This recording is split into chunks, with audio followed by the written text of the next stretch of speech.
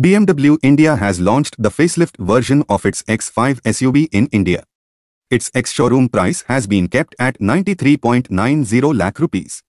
It is offered with a petrol and a diesel engine option. Mild hybrid system has been given with both the engines.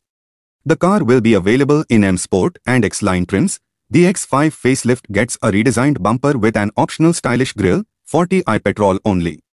Along with this, Slimmer headlights have been given and with this BMW's signature LED daytime running lamp has also been given.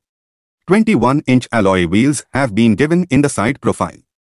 The rear profile only gets redesigned taillights. The interiors of the X5 facelift get a new twin-screen panel that includes a 14.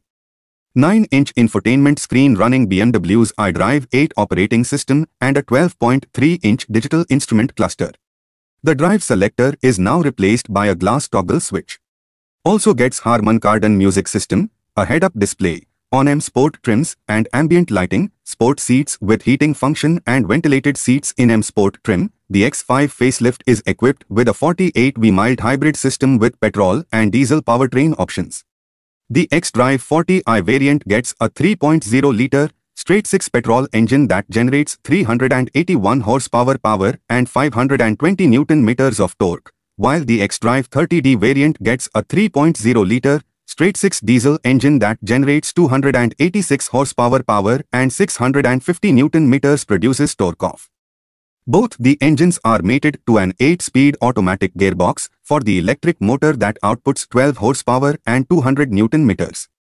The petrol engine can do 0 to 100 km per hour in just 5.4 seconds, while the diesel can do it in just 6.1 seconds. The BMW X5 facelift is priced at 93.90 lakh rupees for the X-Drive 40i X-Line variant, 95.90 lakh rupees for the X-Drive 30D X-Line variant, 1.05 crore rupees for the X-Drive 40i M Sport and 1.07 crore rupees for the X-Drive 30D M Sport. The BMW X5 facelift will compete with the Mercedes-Benz GLE, which gets a 2.0 liters turbo petrol, a 3.0 liters diesel and a 3.0 petrol engine option.